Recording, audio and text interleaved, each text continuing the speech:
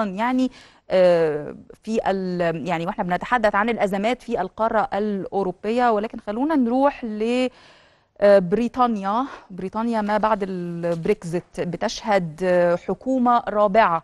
آه النهارده أعلن حزب المحافظين فوز ليز آه آه تراس وزيرة الخارجية في حكومة بوريس جونسون المستقيلة بزعامة الحزب ورئاسة الوزراء ب 57% من أصوات أعضاء الحزب ده خلفا لجونسون اللي تقدم باستقالته.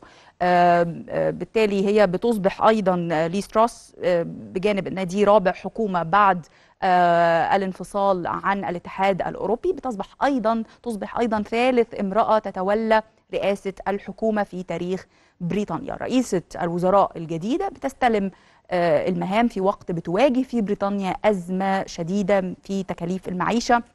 اضطرابات عمالية وصلت نسبة التضخم لأعلى مستوياتها من 40 سنة بتتقدم كمان تراس بمجموعة من الوعود ويعني خطة قوية لخفض الضرائب وتحقيق نمو الاقتصاد. خلونا نروح للندن أيضا عبر تطبيق زوم مع دكتور كايد عمر المحلل السياسي. دكتور كايد أهلا بحضرتك.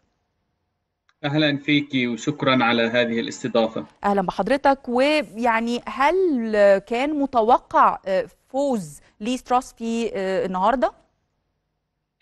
نعم كافة أو معظم استطلاعات الرأي التي أجريت بالفترة الأخيرة في بريطانيا كانت ترجح بفوز ليز تراس ب 22 نقطة وكانت تتوقع بأنها ستتغلب على ريشي سوناك وزير الخزانة السابق في حكومة بوريس جونسون. وطبعا كانت النتيجة اليوم كما أعلنت هي تمام الساعة الثانية عشر والنصف. كما كان متوقع هي أعلنت بأنها هي الفائزة ولقد فازت عليه بأكثر من عشرين ألف صوت وبنسبة 57% من أصوات أعضاء حزب المحافظين. نعم. البالغ عددهم 172 ألف عضو. في كافة أنحاء بريطانيا.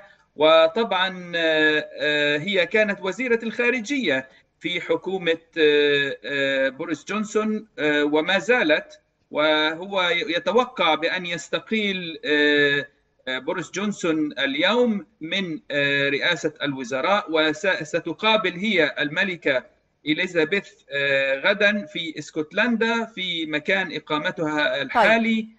وسيتم تعيينها رئيسة للوزراء طيب دكتور كايد هل, من هل من نعم هل ده هل هل هتكون سياسة الحكومة سياسة مختلفة عن سياسة حكومة جونسون ولا ستستمر في نفس السياسات؟ لا تستطيع أن تستمر بنفس السياسة كون أن بريطانيا ومنذ سنين طويلة تعاني من أزمات اقتصادية مختلفة. بدأت بالكساد الاقتصادي وتبع ذلك أزمة الاقتصاد الناتجة عن خروج بريطانيا من الاتحاد الأوروبي والأزمة الاقتصادية التي ارتبطت بجائحة كورونا. والآن الأزمة الاقتصادية المتعلقة بالحرب ما بين أوكرانيا وروسيا وتبعات ذلك الاقتصادية على أوروبا المتحالفة مع أوكرانيا وطبعا بما يشمل بريطانيا. وطبعا الاقتصاد البريطاني هو الآن يتدهور ويتراجع. نعم. هناك تضخم بأكثر من 11% وارتفاع في نسبة الفائدة من البنوك. وأيضا هي من من السياسات التي عرضتها هي تخفيض الضرائب.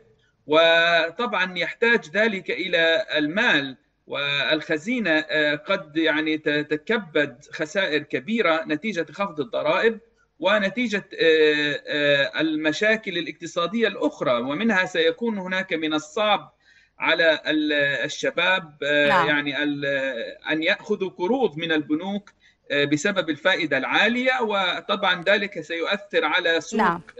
العقارات وبناء البيوت وشراء البيوت وأيضا يعني اذا اذا رئيسة الوزراء الجديدة ليز تراس أمامها تحديات كبيرة وحضرتك بتؤكد إنه من المتوقع إنه يكون في خطة مختلفة عن خطة حكومة بوريس جونسون. أنا يعني بعتذر لحضرتك عن ضيق الوقت ولكن أكيد هنتابع هذا الموضوع وما يعني يتبعه من تطورات في الأيام القادمة. بشكر حضرتك دكتور كايد عمر المحلل السياسي من لندن عبر تطبيق زوم دي